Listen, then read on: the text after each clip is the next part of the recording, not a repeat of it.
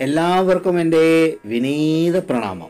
ശ്രീ വിശ്വ വാസ്തുവിദ്യ എന്ന എളിയ ചാനലിലേക്ക് നിങ്ങളെ വിനീതമായി സ്വാഗതം ചെയ്യുന്നു. പ്രിയരെ ഈ ചാനലിലൂടെ ഹനുമാൻ സ്വാമിയെ പറ്റിയുള്ള പലതരത്തിലുള്ള അറിവുകൾ പങ്കുവച്ചിരുന്നു. ഉദാഹരണത്തിന് പഞ്ചമുഖ ഹനുമാൻ സ്വാമിയെ പറ്റി.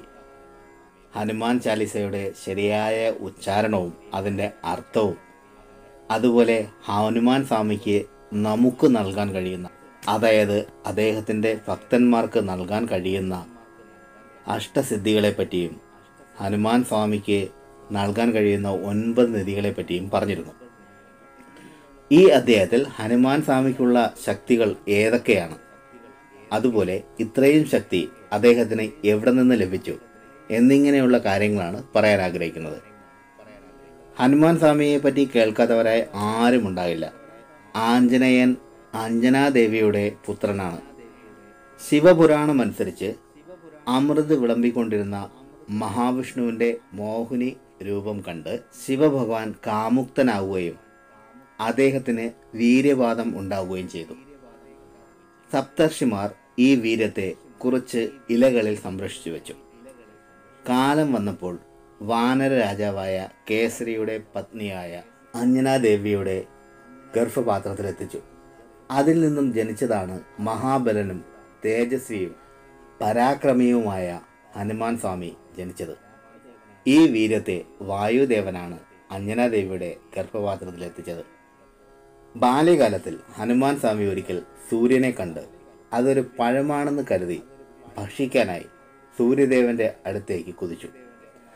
ആകാശമാർഗെ പോകുന്ന ബാലഹനുമാനെ ദേവേന്ദ്രൻ തന്റെ വജ്രായുധമയച്ച് വീഴ്ത്തി.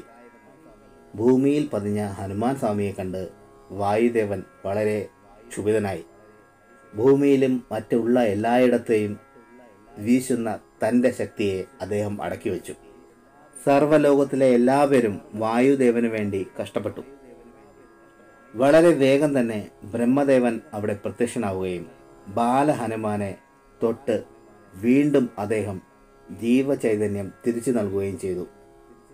ആ സമയം അവിടെ ഉപസ്ഥിതരായ എല്ലാ ദേവന്മാരും ബാലഹനുമാൻ സ്വാമിക്ക് വരദാനം നൽകി വായുദേവനെ തൃപ്തിപ്പെടുത്തുകയും ചെയ്തു. അത് ഏതൊക്കെയെന്ന് പറയാം. ആദ്യം സൂര്യദേവൻ. സൂര്യദേവൻ ഹനുമാൻ സ്വാമിക്ക് നൽകിയത് തന്റെ കാൽഭാഗം തേജസ്സും അതുപോലെ തന്നെ എല്ലാ അസ്ത്രങ്ങളുടെ പ്രയോഗവും അതുപോലെ എല്ലാ ശാസ്ത്രങ്ങളുടെയും അറിവും. ഈ ശാസ്ത്ര അറിവുകളെ മറ്റാർക്കും തോൽപ്പിക്കാൻ കഴിയില്ല എന്ന വരദാനവും അദ്ദേഹം നൽകി. ഹനുമാൻ സ്വാമി യൗവനസ്ഥനായതിനു ശേഷമാണ് സൂര്യദേവൻ തന്റെ ഒൻപത് വിദ്യകളും ഹനുമാൻ സ്വാമിക്ക് പകർന്നു നൽകിയത്.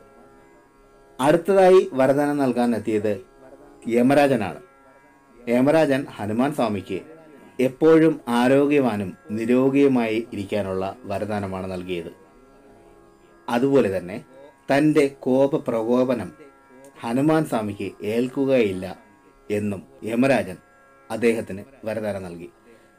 അടുത്തത് മൂന്നാമതായി വരദാനം നൽകിയത് കുബേരനാണ്. കുബേരദേവൻ തന്റെ ഗതയിൽ നിന്നുമുള്ള പ്രഹരം ഒരിക്കലും ഏൽക്കുകയില്ല എന്നും അതുപോലെ അദ്ദേഹത്തിന്റെ അസ്ത്രങ്ങളെ ഒരിക്കലും ഭയക്കേണ്ടതില്ല എന്നും അദ്ദേഹം വാക്കുകൊടുത്തു കുബേരന്റെ അസ്ത്രങ്ങളുടെ പ്രഭാവം എല്ലാവർക്കും അറിയാമല്ലോ അല്ലേ? ജീവിതത്തിൽ എല്ലാവർക്കും കുബേരന്റെ അസ്ത്രങ്ങളുടെ പ്രഹരം ഏറ്റിട്ടുണ്ട്. അടുത്തത് മഹാദേവൻ.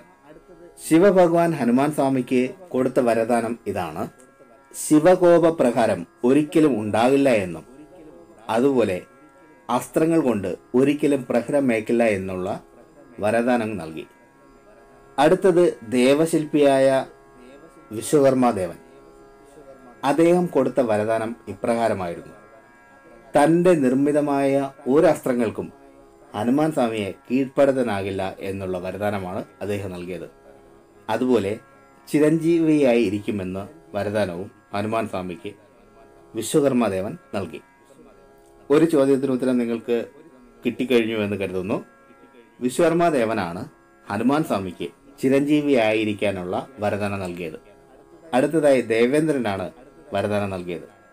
ദേവേന്ദ്രൻ നൽകിയ വരമാകട്ടെ തന്റെ അസ്ത്രമായ വജ്രായുധം പോലെ കാഠിന്യമുള്ള കൈകളും അതുപോലെ ഹനുമാൻ എന്ന പേരിൽ പ്രശസ്തനാകട്ടെ എന്ന വരദാനവും ഇന്ദ്രദേവനാണ് നൽകിയത്.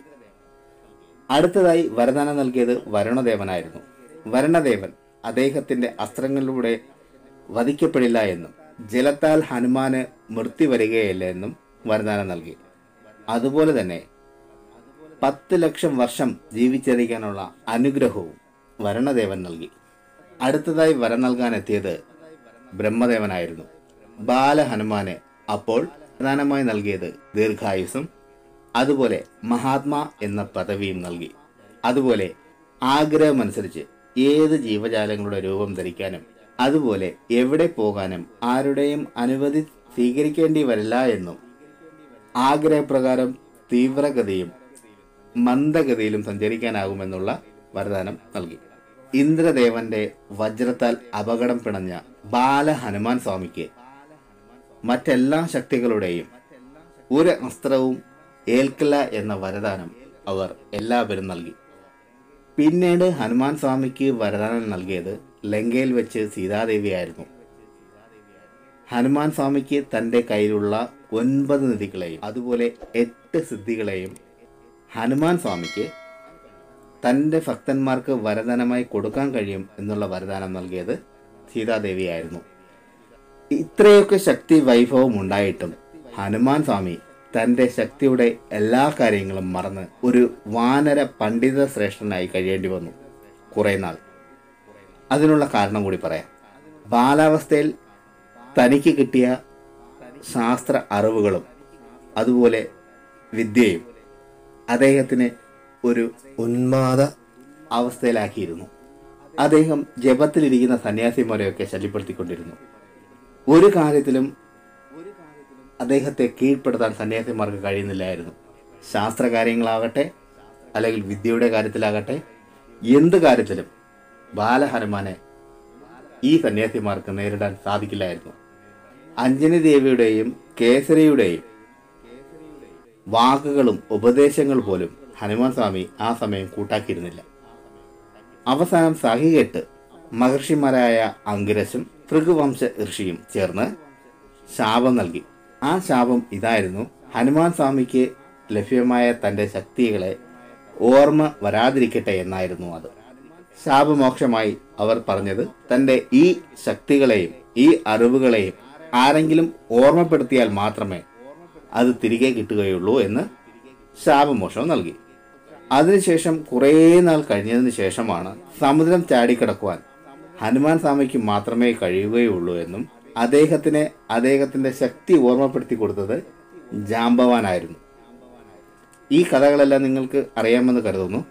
പ്രിയരെ നിങ്ങൾക്ക് ഈ അദ്ദേഹത്തിൽ പറഞ്ഞ കാര്യങ്ങൾ പ്രയോജനപ്പെട്ടുവോ? ഇഷ്ടപ്പെട്ടുവോ? ഇഷ്ടപ്പെട്ടുവെങ്കിൽ ലൈക്ക് ചെയ്ത് തന്നെ അറിയിക്കുക. മറ്റുള്ളവർക്ക് പ്രയോജനപ്രദമാകുന്ന രീതിയിൽ എന്തെങ്കിലും ഉണ്ടെങ്കിൽ ഷെയർ ചെയ്യാനും പഴയ വീഡിയോകൾ കാണാനും ശ്രമിക്കുക. പിന്നെ ഞാൻ എപ്പോഴും പറയുന്നത് പോലെ സത്യസന്ധമായ യഥാർത്ഥ വാസ്തുവിദ്യ രഹസ്യങ്ങളും സനാതന ധർമ്മത്തിലെ സാധന ഉപാസന മന്ത്രരഹസ്യങ്ങളും ഹസ്തരേഖ വിജ്ഞാനവും അതുപോലെ സാമുദ്രിക ശാസ്ത്ര രഹസ്യങ്ങളും അറിയാനായി നിങ്ങൾ ഈ ചാനൽ സബ്സ്ക്രൈബ് ചെയ്യുക. നിങ്ങൾക്കെല്ലാവർക്കും സർവേശ്വരന്റെ അനുഗ്രഹം ലഭിക്കട്ടെ എന്ന് ആത്മാർത്ഥമായി പ്രാർത്ഥിച്ചുകൊണ്ട് നിർത്തുന്നു. നന്ദി നമസ്കാരം.